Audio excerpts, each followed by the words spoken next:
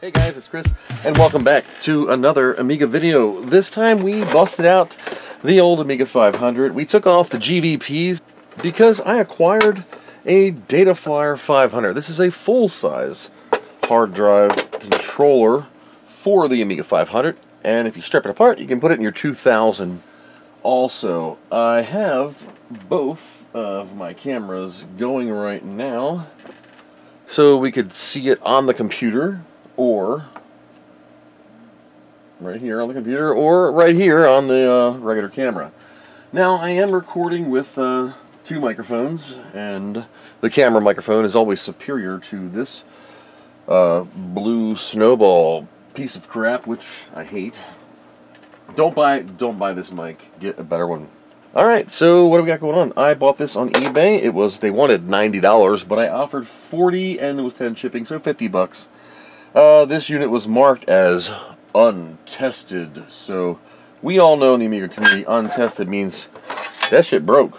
And uh, we can tell right now that the cover here is just total, uh, you know, it's not in bad shape. It's a little dirty. Okay, it's, it's, it's fine. Inside of the unit, we get a, uh, ooh, look at that. Now, I'm not too fond of the lighting here tonight. Uh, so, I apologize for any lighting weirdness. So, maybe the, the camera here will be better.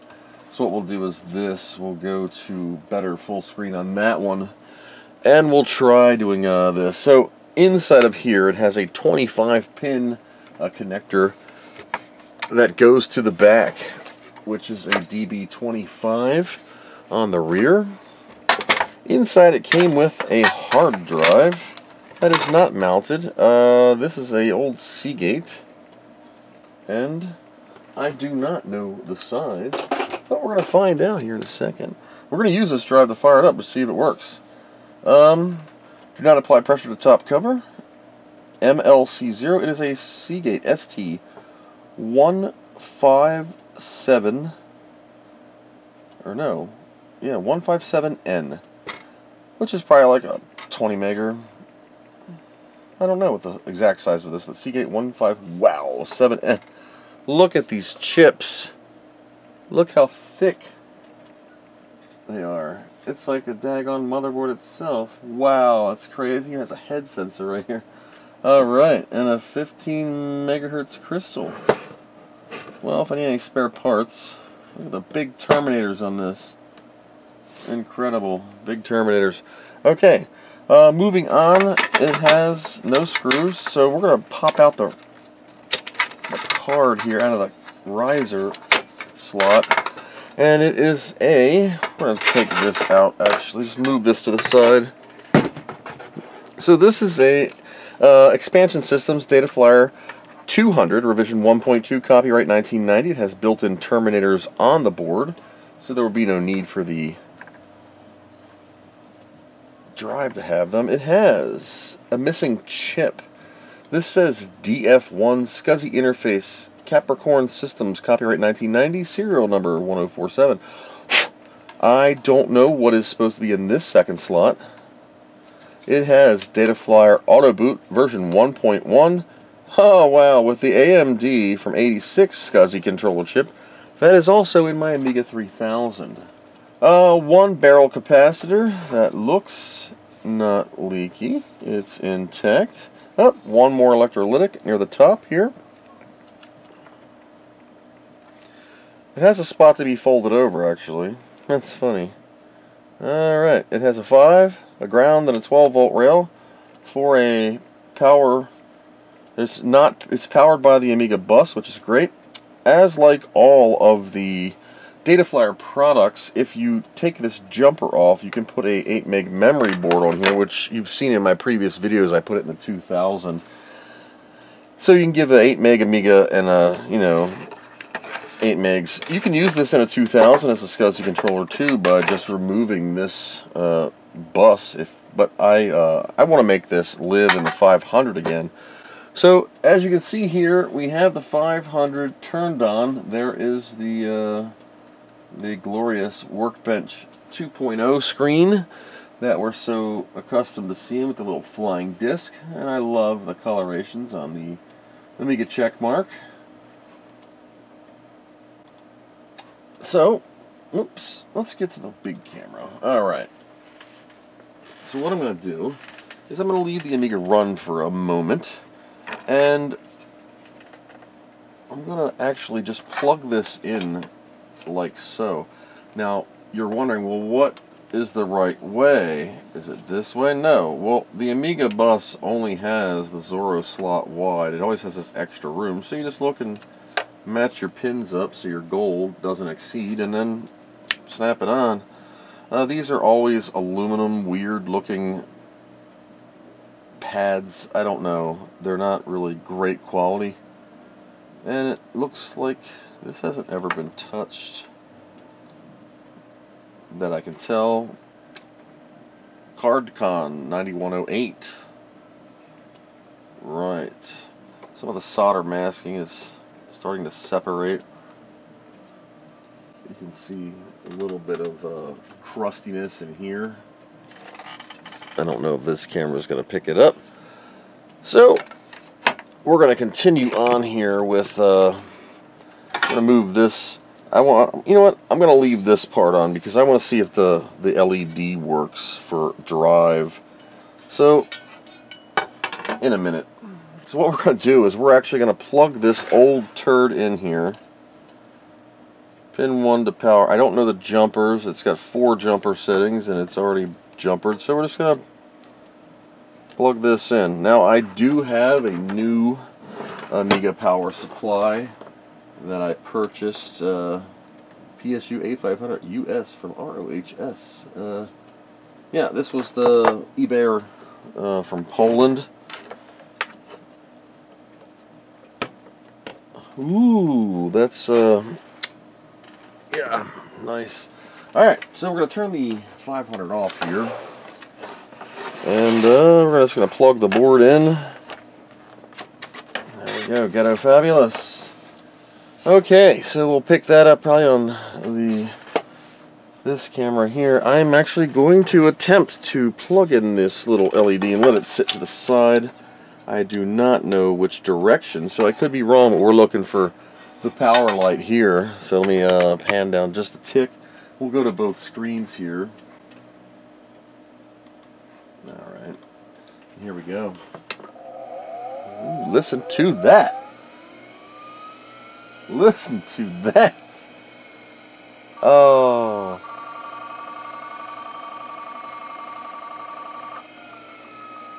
That don't sound good. I have no light. I'm going to try this way. No light. Alright, what do we got? We got ROMs. Let's try a re warm reboot.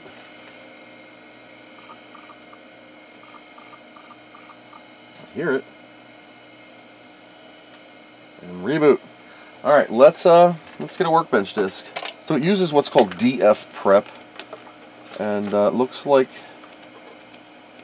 there's my workbench. Doo -doo -doo looks like this. Data Flyer has its own uh, disk. So we're gonna go ahead and put that in the 500 here. It's booter. That's 3.8. I have 3.0 and 3.8 some AMAX stuff for the 3000, which is actually on right now. So here we go. Let's go to the camera itself. Let's go uh, here. So this is the Data Flyer disk. We're just going to boot off this DF Prep, Expert Prep, and Fast Prep, or GVP. My apologies. So, oh, look at that. It found the hard drive, Unit 0. We're going to try and, uh, we're going to try and use this on 1 meg around. Alright, we're going to click Install. Do you want the program to automatically install your hard drive? We can say no. No. I want to see how big it is. Oh, look at that. It's a 46... Yeah, yeah, get... It's 46 megs. Yay, that's just so large. Alright, so we're going to call it Fly Zero. No, we're going to be DH Zero. Uh, 25 megs? No, we don't... Do we really want two partitions on a 50 meg drive? Alright, we're doing fast file system boot priority 0. 32 buffers. Yeah. So we're going to give it 30. And we're going to say install. That's all we got. Sure. Do you want to install everything? We're going to do full install. We're going to low level format the drive. I don't know. Do we? Sure. Alright. So, without banging everything around, I grabbed another LED here. I just want to see if this one works. I don't know which one is positive, which one's negative. Alright, so we have a hard drive LED here. You can see. I don't know if you can see. Uh, whoops. Let's do both cameras again here on the uh, thing. So, see the reflection in my hand here. We do have a hard drive light. This is burned out. It's right on the top and uh, not on the bottom. So, this is a little tester I plugged in. So, we are going to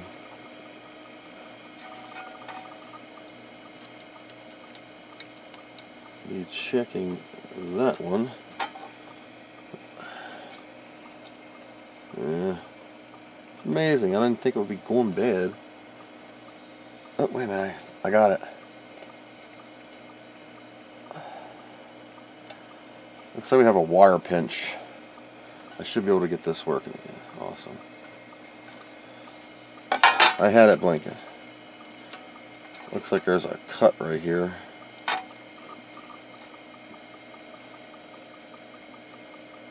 Oh my god. How long does it take to format 25 or 50 megs?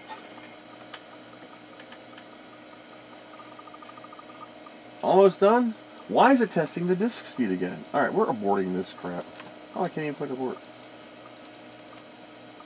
Alright, I'm going to stop this camera until it's done so I don't run out of power. We're going to say no to uh, format this sucker this time. And this program does SCSI or IDE drives. I've used this on the IDE side of the data flyer.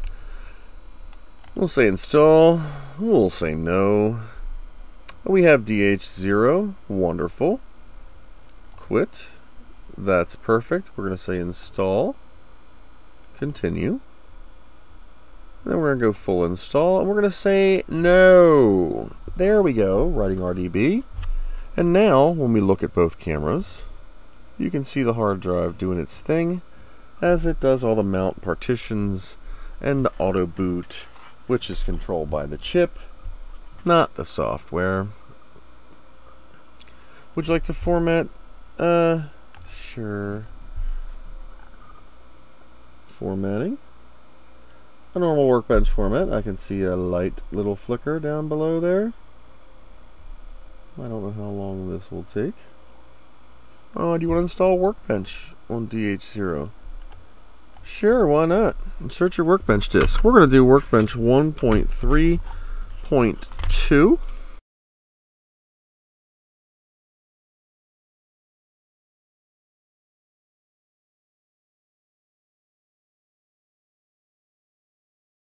Creating auto boot files. It's doing something. Okay. We have a little ECS man with a shaky wrench and a big smashed thumb and says installation complete. So then we click abort and there's fly zero. Even though I told it, do not name yourself fly zero. We're removing it and we are going to do the triple finger and we're rebooting and we're just going to see if this boots by itself now. And of course It's nope. All right. So we're going to boot off of Workbench 1.3.2. So we have no fast RAM. We have no hard drive. Where's my hard drive?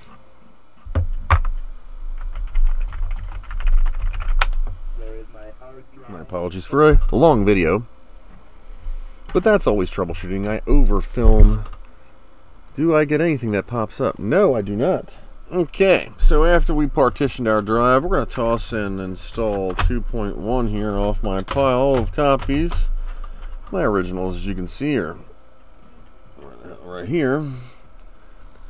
Uh, this HD Tools, H, come on, little slash, HD Toolbox EX Ooh, expsys dot device. That's the device driver of expansion systems.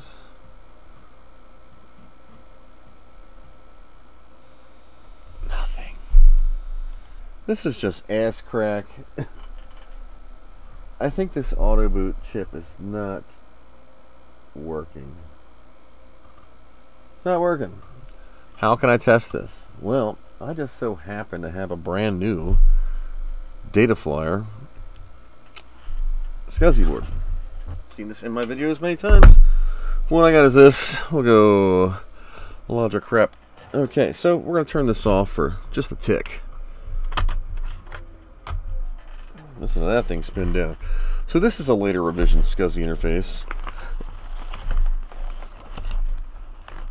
from Data Flyer. And I'm going to go ahead and unplug my rear cable. So this is what it's the later revisions are looking like. Now this one is for the 2000. It doesn't have it has the jumper and all that stuff. Um, hard drive mounting holes. Everything is very similar. So removing this one here. Oy. We'll compare. So, as you can see, the board is a little shorter.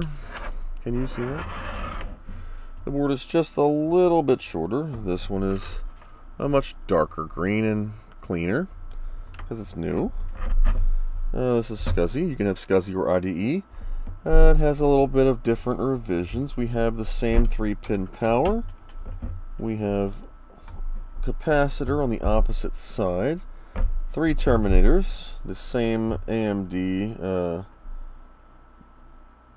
different revision. This one's 89. This one's 86. This is an older chip. Son of a bitch. AMD 1986, AMD 5380 PC. This is an AMD 5380 PC 86. Oh, I was reading it upside down. 86. So yeah, the same exact chip.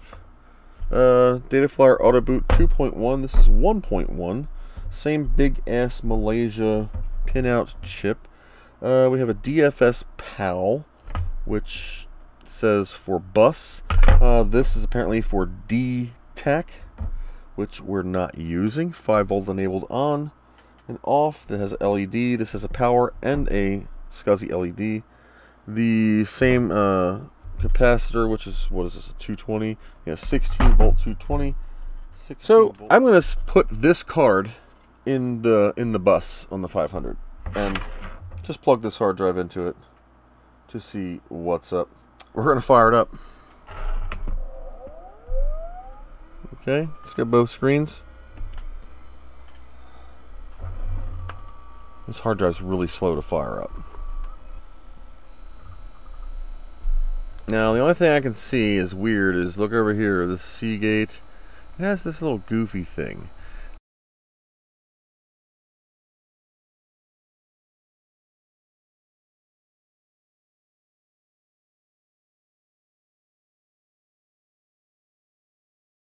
Startup sequence.ht. Yeah. Let's uh rename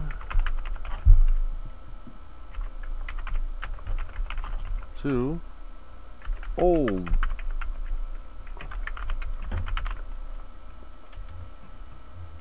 and then we're going to rename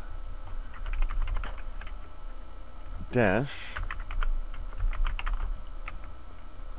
dot hd2 alright. Now we're to reboot. Take disk out there we go. Alright.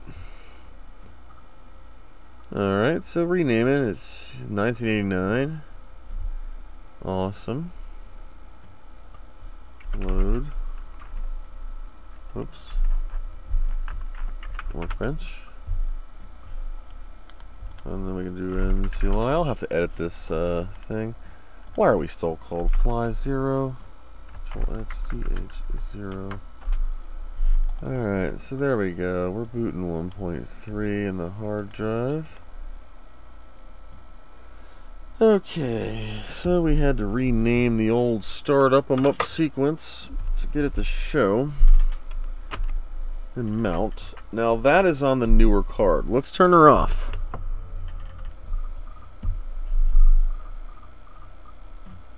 It should boot. Alright. So the auto boot doesn't work. Alright, so one final update. After many hours you've seen, well, I've edited this down, but I have a couple repairs to do. Like I broke one of the ground wires off here, and I apologize on this camera. Um, but what I need to do is solder this back on, and this this chip here, this uh, Motorola 74 521N, this chip I looked up is what's called a comparator and it takes the averages of two voltages and outputs one digital voltage to this chip which I forget what the hell it is. And this little tiny one over here this is a, a 74 F32N this is for 8-bit and that's for when you use this in an Amiga 1000 these cards were uh, you know common throughout the expansion systems line from Dataflyer or Dataflyer line from expansion systems. And they had a memory board, which I have in the 3000, and you saw my other SCSI module. But the problem I'm having is the auto boot chip here. And so, I peeled the sticker off to get the number, and it just says auto boot, Dataflyer auto boot, Rev 1.1. That's hard to see on that. But I went to get the EEPROM number, and this is a uh, 27C6415. It's like an 8-bit uh, EEPROM. I wanted to find a blank. Was just an eBay run. Uh, I want to find a blank EEPROM, and I have a 2.1 in the other machine. So I want to get an EEPROM reader and read the 2.1 chip I have and write it to a blank. So my auto boot works. I did swap out my comparator, my auto boot, and this it just worked fine uh, every time. Now there is a little bit of a delay with the spin up, and that's just because of the ancient hard drive here. This thing is only like you saw 40 megs or so. So that's where we're at. This can be used currently in an Amiga 2000 if you just needed some SCSI or even the DB25 uh, pass through. And both cards came with that. This one has a DB25 on the uh, on a on a card or a backstop, so you could put this one. Oops, pin one. You could put this on this card and run it out the back and have external SCSI. If you didn't require auto boot, if you were running like your Vampire or a Compact Flash IDE, but if you were going to try and run a SCSI to SD and you know boot off of this card, which a lot of you would, it's what you want to do, we're going to need to fix this auto boot, and especially in a 500 situation where you're in a case and I'm going to repair the light. Uh, when you're in an external case and you want it to kind of line up, and, and you know, well, this side of course, and be one unit, you want it to boot. So that's what I want to do. That's going to be an extended project. It's going to take some time to acquire these other components that I need and then we'll worry about the two capacitors and a couple of the ceramics and the resistors. and The Terminator packs, we'll get into it a little bit later on uh, when I get more down the road. There's a ton of projects that I have to do, um, but they're on hold for various reasons. So thanks for watching, and I hope this helps someone, and I hope you learned something.